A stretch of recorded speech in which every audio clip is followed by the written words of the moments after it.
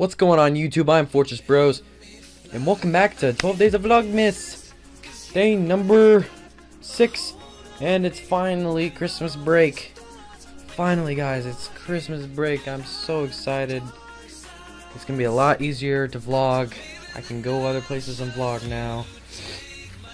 I don't know about the park because uh, Nick injured himself, so he won't be at the park for a while if I don't go. Well, if I have... How many days of break do I have off? Well, I know I have two weeks. I have more than two weeks. I have like two weeks and... What is it? Three days, I think? So yeah. It's Friday, Saturday, Sunday. And I also have Monday off, January 5th. I don't go back to the 6th. So that's actually 18 days off. Wow, not 17. 18 days off. That's pretty awesome. I gotta say. And it's just Thursday night right now. It's not even the first official day.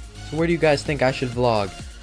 Let me know in the comments below. Just suggest what should I do? Where should I vlog? Where should I vlog, vlog, vlog besides my room? Even though this microphone's better. But yeah, where should I vlog at? Should I go outside? Should I go in, um, I don't know, public or something? I don't know. Let me know. Comment right there. Right down there and it says, share your thoughts right down below.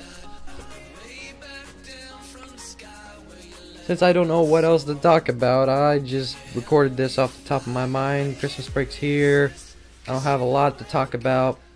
That's pretty much it.